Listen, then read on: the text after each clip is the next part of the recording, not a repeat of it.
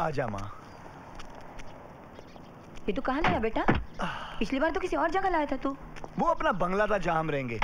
ये मैंने ऑफ़िस बनाया। देख कितना बड़ा ऑफ़िस है। वो चाँद तक। हाँ। सब पेट्रोल। इतनी जल्दी क्या है? भर देंगे आराम से। बेवकूफ़। वेलकम वेलकम वेलकम राजू साहब। कब आए कलकत्ता से? ट्रेन लेट तो नहीं थी ना? प्लेन से प्लेन से आया हूँ। सुबह की प्लेन से सीधे माँ को लेके आया हूँ। माँ ये कॉन्ट्रैक्टर है जो मिट्टी और वो ईटे लगाता है ना बिल्डिंगों में वो। बाजी नमस्ते नमस्ते नमस्ते। हमेशा आपके बारे में बात करते हैं। आप भी कलकत्ते में रहते हैं? नहीं कोलीवाड़ा में। मेरा माँ इनका कहने का मतलब ये है की माँ कल शाम को मैंने इनको फ़ोन किया था ये पूछने के लिए की बिल्डिंग कैसी चल रही है। आजा आजा बेटा आजा आजा। क्यों भी ओवर एक्टिंग करता साला? ओवर एक्टिंग की औलाद? अब तेरे को बराबर होता नहीं क्या बोलने को? चले एक काम कर दो सौ रुपए दे और पचास रुपए काट ओवर एक्टिंग की वजह से। अरे मैं कहाँ से दूँ? अरे देना यार देना समझा कर बात को यार अरे लेकिन राजू भाई पेट्रोल का क्या करेंगे? पेट्रोल नहीं तो पानी डाल दे। पेट्रोल नहीं है। प्लीज़ बाद में सेटल कर लेंगे। चल दे इसको पैसे दे। दे पैसे दे। चल चल कल आना कल आना चल। अरे। आजा माँ ये देख ये है तेरे बेटे का पर्सनल कैबिन माँ और माँ यहाँ मैं अपने पिताजी की फ़ोटो ए राजू कब आया कलकत्ते से हाँ? कब आया कलकत्ते से हाँ? ये कौन है बेटा? अरे मैं बताता हूँ माजी माजी राजू तो मेरा जानी दोस्त मेरा मतलब है जानी दोस्त था माजी पहली बार इसे सड़क पे मिला था। मैं तो उस वक्त इसे जेब कतरा समझ जाता माजी हाँ। जेब खतरा हाँ माजी शक्ल ही कुछ ऐसी है। अरे।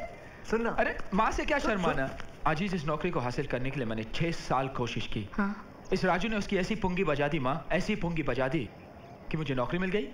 पाए लागू माजी जीते रहो बेटे। मैं श्याम राजू का रूम पार्टनर रूम पार्टनर वो बिज़नेस पार्टनर भी है। हाँ बिज़नेस से याद आया। हाँ। याद है वो दारू का अड्डा जो हम लोग ऑफ़िस के पीछे बनवाने वाले थे? दारू का अड्डा? वो माँ इसका कहने का मतलब ये है कि वो फटाका है ना वो फटाके की फैक्ट्री बनानी है। उसके लिए दारू गोला चाहिए। श्याम प्लीज़ अच्छा। श्याम प्लीज़ अरे डरता क्यों है? माँ से क्या छुपाना? याद है मैंने तुझसे कहा था कि जितनी मदद तूने मेरी की है उसका बदला मैं ज़रूर चुकाऊँगा। चल बटवा निकाल। किसके लिए? चल बटवा निकाल किसके लिए? अरे घनश्याम बाबा के लिए। माँ जी अपना राजू है ना? घनश्याम बाबा का बहुत ही बड़ा भक्त है माँ जी घनश्याम बाबा? हाँ उनकी मन्नत मांगी थी इसलिए तो इतनी तरक्की किया इसने। अच्छा। बोलू? हाँ हाँ माँ घनश्याम जी। बहुत पहुँचे हुए बाबा हैं। देखा माँ? हाँ हाँ बोलता लेकिन पैसे नहीं देता। चल चिंगुस पैसे निकाल। अबे पैसे निकाल। कह के पैसे अरे पैसे मेरी, बात सुन। अबे निकाल। श्याम श्याम मेरे पैसे मेरे श्याम अरे सौ रुपए तो देख उसे पेट्रोल। चाहूँ तो तेरा भांडा फोड़ सकता हूँ लेकिन माँ जी की आँखों में खुशियों के आँसू देखकर मैं उन्हें पहुँचना नहीं चाहता। अरे। समझे? अच्छा माँ जी अच्छा बेटा।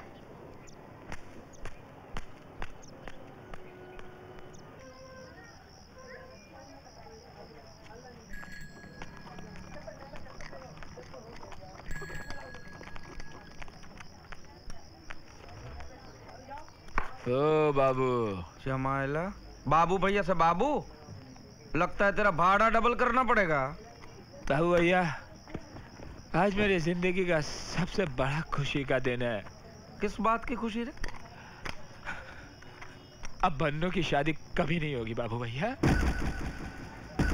और ना ही मेरे गाँव का घर बचेगा। तो तुम्हें पैसा नहीं मिला?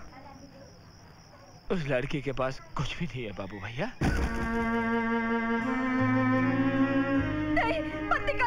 पिताजी की मौत के बाद माँ की दिमागी हालत बहुत बिगड़ गई। ढाई साल से घर का किराया तक नहीं दे पाई।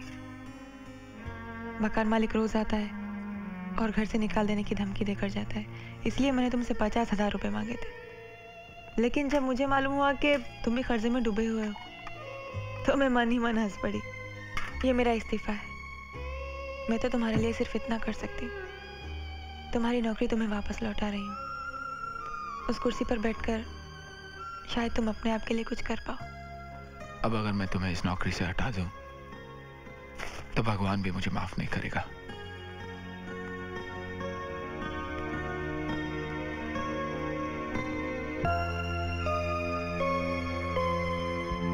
लेकिन उसके पास कुछ भी नहीं है बाबू भैया।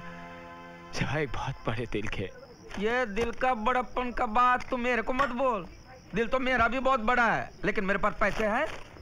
अरे देवा ये तेरा बात सुन के मेरे को पेट में आग लगा रहे ला रे बोतल मेरे को दे। अरे अकेला पिएगा मर जाएगा चलो बोतल दे। अरे बाबू भैया मैं आपको एक बात बताना चाहता हूँ। क्या? जानते हो मैंने शराब किसके पैसे से खरीदी? किसके? दुनिया के सबसे बड़े कमीने के पैसे से इस कमीने के पैसे से। बाबू भैया ये कमीना हमें कभी भी धोखा दे सकता है। जिस माँ की कोख से जन्म लिया उसी को धोखा दे रहा है ये कमीना। राजू ये सच है क्या? ए, ए राजू! जाता कहाँ? बताता क्यों नहीं? जो कुछ मैंने देखा बताता क्यों नहीं? अरे बता ना! मुझे तो अभी भी शक है बाबू भैया। वो औरत कहीं इसकी नकली माँ तो नहीं? इसके आगे एक शब्द मत बोलना। वो औरत मेरी असली माँ है। अब पिछले डेढ़ साल से मैं उसे धोखा दे रहा हूँ। और उसी धोखे की वजह से आज वो बहुत खुश है। वो समझती है कि उसका बेटा कलकत्ते की बहुत बड़ी कंपनी में नौकरी कर रहा है। लाखों कमा रहा है। उसके लिए एक शानदार घर बनाएगा वो। सब बकवास है। राजू ऐसा झूठ बोलने की क्या ज़रूरत थी? मैं करता भी क्या? उसे ये कह देता कि उसका बेटा बेकार है, छोटी मोटी नौकरियाँ करता, ये बोलूँ उसको मैं? मुझे आज भी याद है, मेरी माँ स्कूल में झाड़ू कटका लगाती थी।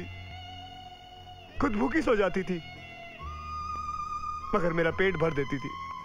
और मैं अपनी माँ को दुखी नहीं देख सकता। इसीलिए मैंने उसे झूठ बोलना शुरू कर दिया। और मैं क्या करता? उसे ये कह देता कि वो जो सपने देख रही है, वो सब बेकार है, फजूल है। ये कह दू उसको मैं? मैं अपनी माँ को खुश देखना चाहता हूँ।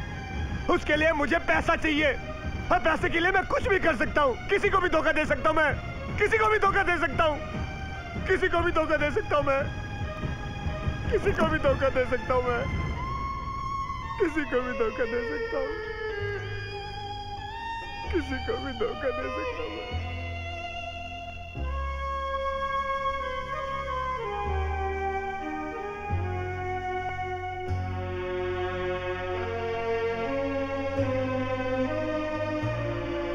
आज अगर तुमने मेरी माँ को सब कुछ सच सच बता दिया होता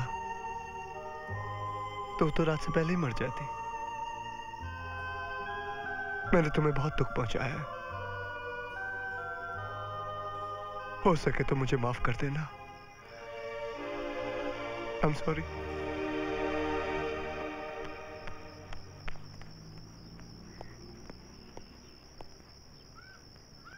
तू अब भी उससे नाराज़ है?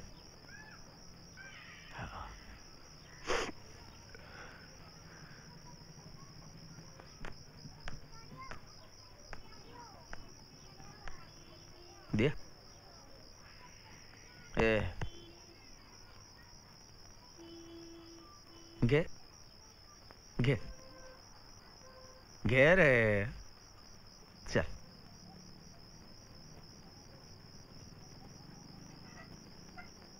हम्म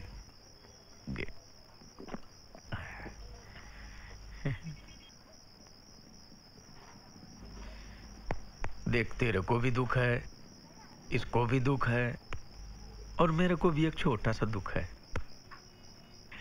मेरे वडील ने, बोले तो मेरे बाप ने, बहुत मेहनत करके ये घर और गराज बनाया था। बहुत मेहनत किया था मेरे बाप ने। फिर माँ बीमार पड़ी, उसके पीछे बाप को बहुत कर्जा हो गया। और कर्जा चुकाते चुकाते मेरा बाप मर गया। मेरे को मेरा बाप का इच्छा पूरा करने का है। मरने से पहले मेरे बाप के कर्जे का एक एक रुपया चुका के बार कुर्सी डाल के एक दिन के लिए भी मेरे को गर्दन उठा के बैठने का। ये मेरा सपना है। खुशियाँ बांटने से बढ़ती है और दुख बांटने से कम हो जाता है। है ना? है ना? चल, आज हम तीनों मिलके अपना दुख बांटे दुख बांटे, ले।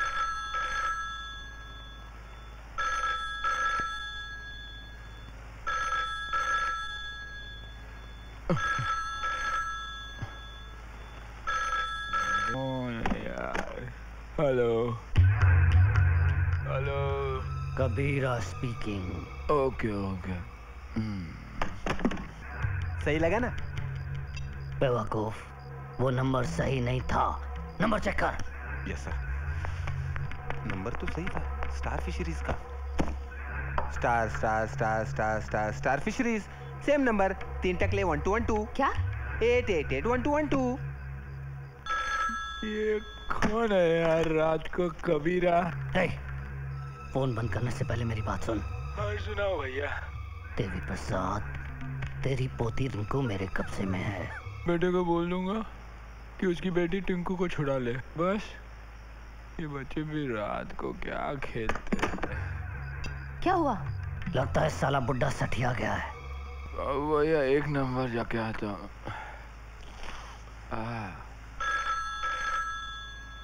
अरे।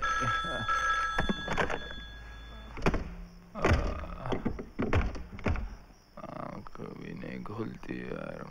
हेलो। ध्यान से सुन। और मेरा फ़ोन काटने की हिम्मत नहीं करना क्योंकि कबीरा कभी मज़ाक नहीं करता। सुन। दादाजी बाबूया बाबूया बाबूया बाबूया राजू राजू बाबू सुनिए बाबूया फ़ोन देखिए ना कौन कौन है देखिए ना ये तो किसी के रोने की आवाज़ है। रिंकू की। रिंकू? हाँ मेरी पोती ये कह रहे हैं। ते, ते, तेरी पोती? पहले मेरी तो शादी होने दीजिए बाबू भैया। हाँ। अरे वो सब तो ठीक है लेकिन ये फ़ोन किसका है? बार बार कह रहा था कबीरा स्पीकिंग कबीरा स्पीकिंग ये कबीरा स्पीकिंग मस्त नाम है रे कबीरा स्पीकिंग हेलो? क्यों देवी प्रसाद? चक्कर आ गया था क्या? बहुत माल कमाया तूने स्टार फिशरीज में अब अगर तुझे तेरी बच्ची ज़िंदा वन पीस में चाहिए तो दस लाख रुपए तैयार रखना। कबीरा तुझे कल सुबह फिर दस बजे फ़ोन करेगा। पैसा कब और कहाँ लाना है मैं तुझे तभी बताऊँगा। और हाँ पुलिस को खबर करने की या हमें ढूँढने की कोशिश मत करना। नहीं तो तेरी पोती के छोटे छोटे टुकड़े करके कुत्तों को खिला दूँगा। हेलो? हेलो? हेलो? हेलो? किसका फ़ोन है? क्या बोल रहा है वो? किसी कबीरा नाम के आदमी का। कह रहा था कि स्टार फिशरीज के मालिक देवी प्रसाद की पोती को उसने किडनैप कर लिया अगर दस लाख रुपए नहीं दिए तो उस बच्ची को मार देगा। उसके बाप का राज है क्या? लेकिन ये स्टार फिशरीज का नंबर कहाँ से मिलेगा? बाबा बोले तो वो कबीरा को ही फ़ोन करके पूछ लो। चोर को पूछो कि चोरी कहाँ कर रहा है ना? जा जरा डायरेक्टरी देख।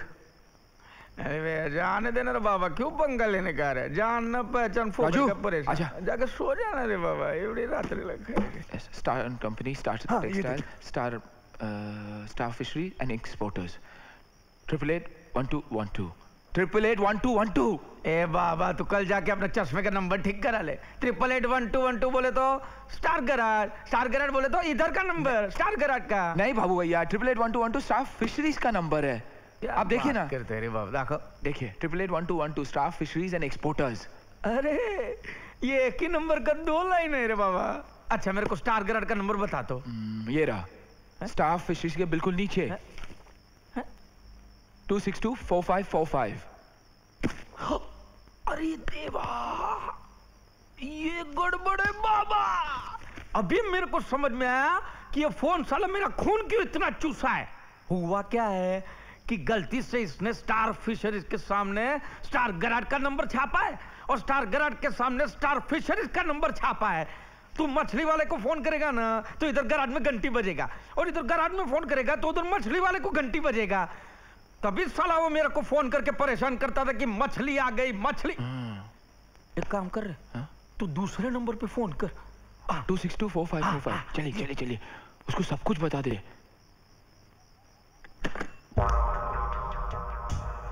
तुम मुझसे कहोगे क्या? यही कि उनकी पोती किडनैप हो गई है? ठहरो।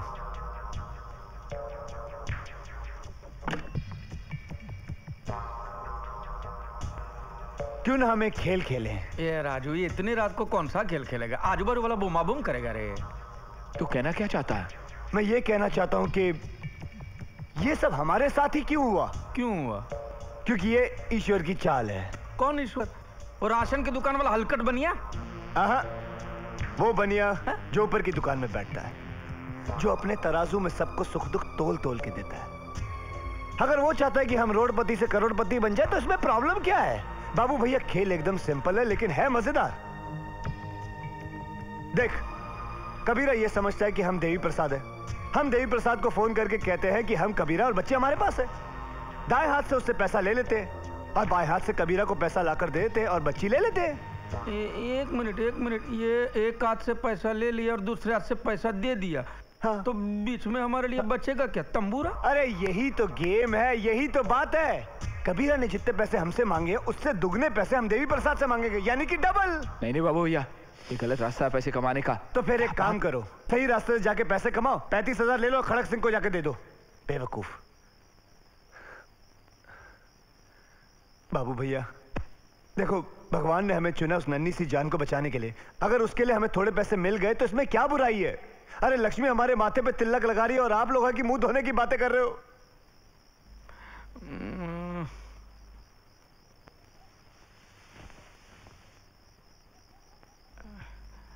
बाबा, ये बात तो गलत नहीं है। क्या सोचता है?